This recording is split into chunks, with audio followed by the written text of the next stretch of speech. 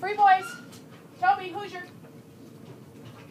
Okay, and the boys have also been getting in on the fun too, and doing some donut work.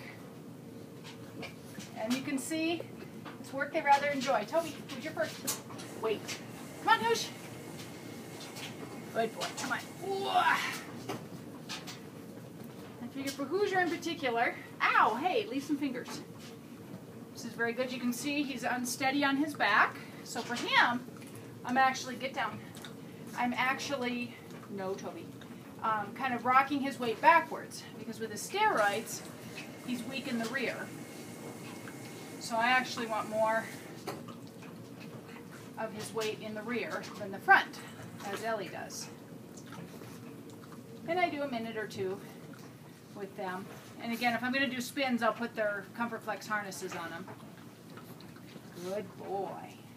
Good boy.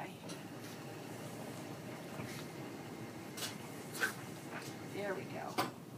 All right, free. And you can see Toby has absolutely no problems whatsoever in getting up on it. Whoop. Okay, let's go. Let's go. Yeah, good boy.